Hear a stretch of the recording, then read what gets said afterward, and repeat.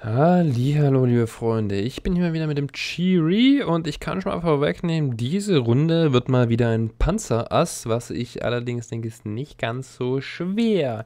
Mit anderen Fahrzeugen muss man dagegen ja, höhere Stufen kämpfen, um ein richtig gutes Panzerass zu kriegen. Mit dem Cheery reicht es schon, wenn man Top-Tier ist und ein bisschen Schaden austeilt. Das ist ungefähr das, was ich diese Runde gemacht habe. Ja. Und vor allen Dingen, was ich diese Runde noch festgestellt habe, ihr seht dort den schönen Oni. Wir fahren nebeneinander gleich den Berg hoch.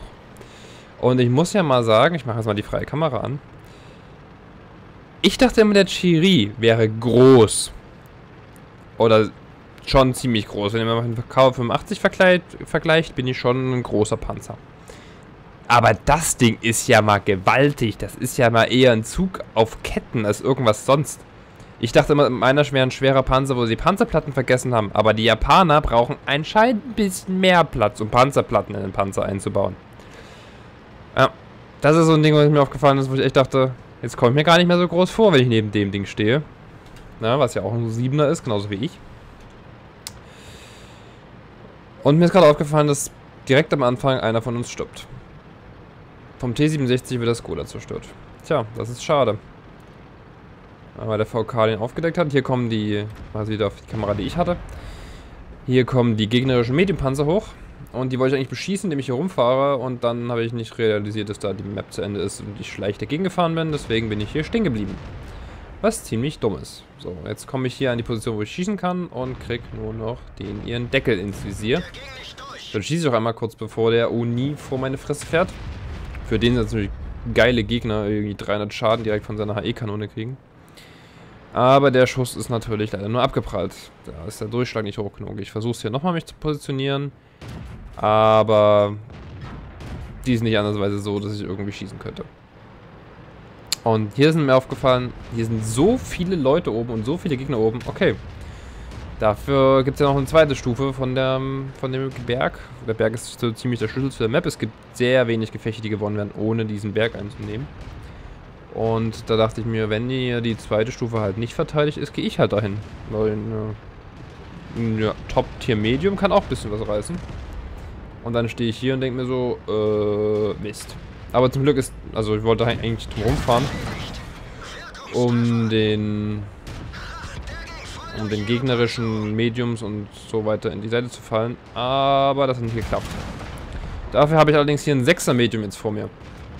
Das ist natürlich auch ein dankbares Ziel für meine 6er Kanone, die schnell schießt. Und hier hat auch der Gegner, der mit HE schießt, was eine ziemlich gemeine Sache ist gegen meinen Chiri, weil ich habe ja nur Papierpanzerung, hat auf meine Ketten geschossen zum Glück mit HE. Dann, und hat sie extrem weit zurückgezogen, wo ich nicht rumfahren wollte. Deswegen habe ich mir gedacht, okay, dann nimmst du halt das, wo du rankommst. Da habe ich halt den Jagdpanzer 4 genommen, habe ihm eine Salve reingedrückt und habe gleich schon wieder nachgeladen. Ja, okay. Ja, steht halt nochmal. Und da habe ich lieber unter die Platten, unter die Panzer, unter die Kanonenblende gegeben und einen direkt drauf, wo ich natürlich nicht mehr durchkomme, weil die Kanonenblende ziemlich ekelig dick ist. Und jetzt mache ich ihn halt hier weg. Und dann dachte ich mir, okay, kann so rumfallen, kann, kann sich auch noch wegmachen. Aber ich bin abgeprallt. Und habe mit meinem Hauptgeschütz seine E-Kanone gefressen. So, ich lade aber da habe ich sogar schneller nach als der Gegner. Und hier versuche ich mit einem zerstörten Geschütz zu snipen. Was in der ersten Kugel noch gut ging und dann fährt er weg. Also mit einem zerstörten Geschütz snipen kann ich nicht empfehlen, deswegen habe ich das jetzt hier wieder repariert. Und ich dachte mir, äh, jetzt äh, könnte nicht mehr so viel stehen. Äh, komm, lass mal runterdrücken. Im Nachhinein wäre die bessere Idee gewesen, dann hier vorne an der Kante stehen zu bleiben und kurz mal meinen Scherenferner zu benutzen. Aber ich war nicht schlau in dem Moment. Und dann passiert halt sowas. Block, gekettet und direkt 500 Schaden kassiert. Dann schieße ich halt zurück, okay. Ich habe übrigens meinen automatisch nach vorne fahren in dem Moment abgeschalten. Ja, und jetzt stehe ich halt hier wie auf dem Präsentierteller mit einer Papierseitenwand und die Gegner können drauf holzen. Ich meine, den haben wir zerstört, aber da steht noch ein AL, der bis jetzt nicht gespottet war. Und da dachte ich mir halt, okay, das ist schlecht, dann fahre ich lieber weg und lad nach. Damit weil ich hatte nicht die Ambition, jetzt direkt nochmal rauszufahren, dass er direkt danach gespottet wird, ist natürlich ungünstig. Dann dachte ich mir, ja gut, dann auf dem AL kannst du echt gut schießen. Geht durch, prallt ab, prallt ab. Und ich weiß nicht warum. Also, die sind zweimal abgeprallt am Ende. Mir ist nicht ganz klar, wie er da stand. Das war ein bisschen lucky von ihm, dass er meine beiden Schuss da abprallt. Aber 1600 Schaden ist annehmbar. Und ich habe auch ein bisschen Schaden aufgedeckt. Zum Beispiel den Cromwell und den T67 müsste ich aufgedeckt haben. Durch mein Scherenfernrohr. Wodurch ich natürlich äh, ganz gut äh, Assistenzschaden bekomme, was natürlich meine, meine Wertung noch ein bisschen erhöht. Die WN8-Wertung ist, glaube ich, 5900 von dem Gefecht hier, was ich extrem krass finde, dafür, dass ich Top-Tier bin. Aber der Chirurgie ist halt ein Fahrzeug, das echt schwer zu fahren ist. Und da sind noch zwei von uns gestorben. Halt die Artillerie und in VK wurde von der Arti weggemacht. Hier gebe ich dem erstmal einen mit und dann bin ich zu unfähig, richtig zu zielen. Währenddessen machten die Teammates hinter mir die Artillerie weg vom Gegner. Und ich kann schon mal vorwegnehmen, weil jetzt nicht mehr so allzu viel passiert. Ich habe in dem ganzen Match auch noch eine Stahlwand bekommen und mir ist nicht so ganz klar warum, weil ich habe irgendwie 200 Schaden mit meiner Panzerung abgefangen, also Abpraller gehabt. Und, und der M4A3E2, hier kann ich noch ein bisschen rumschießen.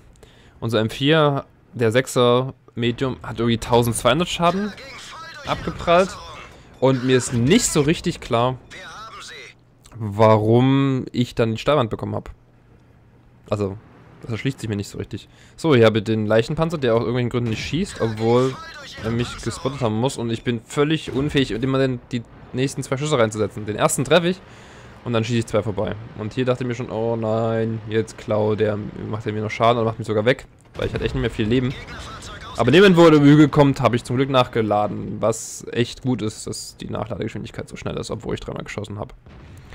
Aber der Black Prince bleibt dort ganz entspannt dahinter stehen. Da passiert nichts mehr. Wie gesagt, 2200 Schaden. Ich glaube 1600 ungefähr noch aufgeklärt. Oder assistiert, besser gesagt.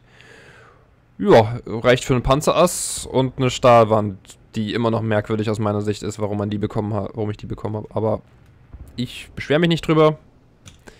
Das war's dann von mir. Dankeschön fürs Zuschauen und ich hoffe, es hat euch gefallen. Bis bald.